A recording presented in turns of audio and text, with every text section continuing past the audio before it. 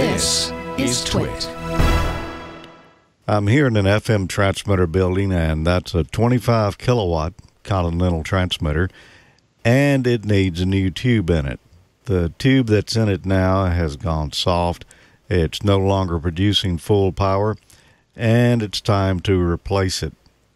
If we look up here on the transmitter itself, we'll see that the power is down, which is typically what happens when these begin to get weak.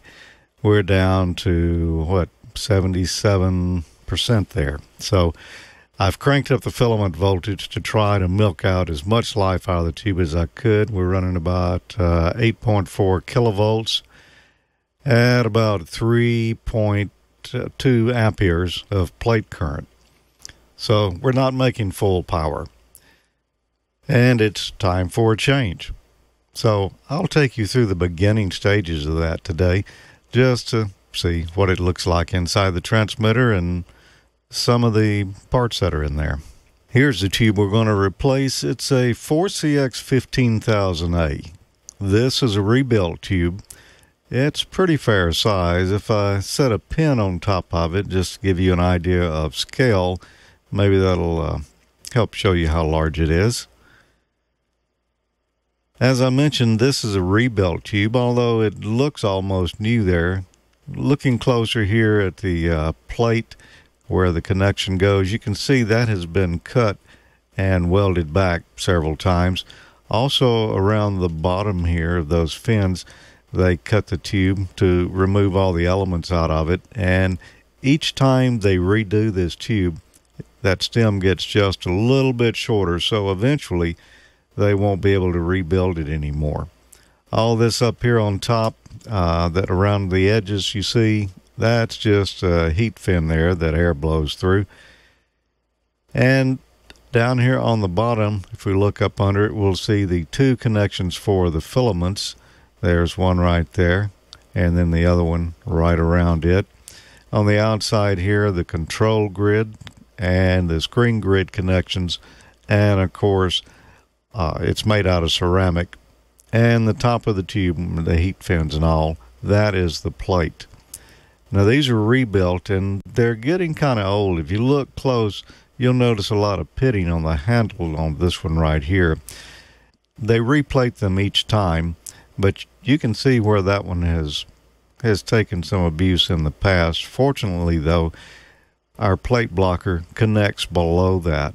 So it still looks clean down here on this area where we'll be connecting to. So uh, hopefully this will be a good tube.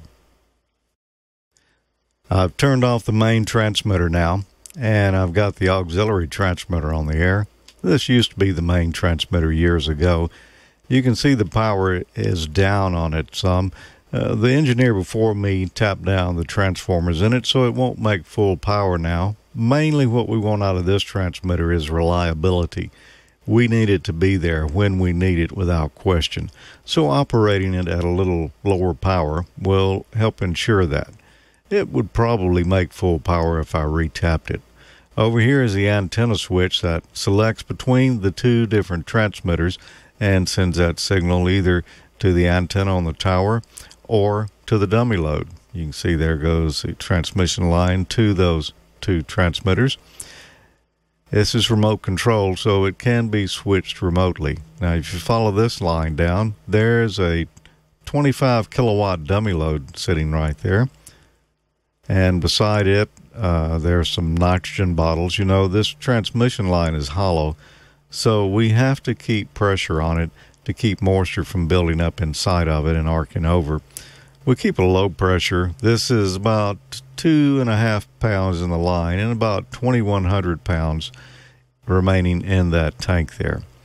So a tank lasts a pretty good while as long as we don't have a bad leak in the line. As I mentioned, the transmission line is hollow, so we do keep it pressurized. This is rigid line inside the building. Uh, that's what broadcasters call hard line.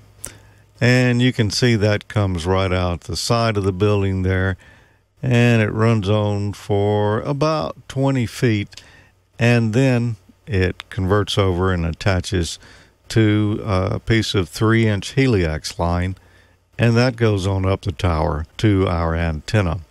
Now, I recently had a leak here and I had to have that repaired, and it's in better shape now. I never lost pressure on it, so there was no concern about water entering the line. Now, this is a thousand foot tower. At the top up there is our FM antenna. We're sending approximately 25 kW from the building, and some of that's lost in the transmission line, but the gain of the antenna multiplies our power up to where we've got 100 kW vertical and horizontal effective radiated power. And that's all the time we've got to look at this today. So, in our next episode, we're going to take a closer look inside the transmitter to see what's in there, and we'll pull that old tube out in preparation for putting in the new one. And uh, George? Yes, uh, Gordo? Gordo here. Will this tube uh, maybe suffice? Uh, actually, it's nothing more than oil and vinegar next time you do a salad, yeah. but it looks like a tube, huh? Well, it does. It looks more like something I'd see in an AM transmitter. I think. Maybe. I, I don't know. I don't. I don't think it'll make 25 kW though, Gordo. That would no, be my sir. concern. And you know, you look out there, you got high voltage, uh, a uh, little over 8,000 volts. So you have to be careful out there. There's a thousand foot tower you're standing up under lots of mechanical hardware and stuff. You can get hurt out there. I'll I'll just say we won't go into any details right now, but uh, it's uh, real easy to to make a mistake or just not even make a mistake and still get injured, which is what happened to me. Um, when you got your hand in something that's got 8,000 volts in it, and you hear something else in the room fall and make a loud noise, you tend to jerk your arm out real quick. And uh, I, I left a little skin and hair on uh, one of the sharp edges in that transmitter. So, uh, yeah, you, you need to be careful in there.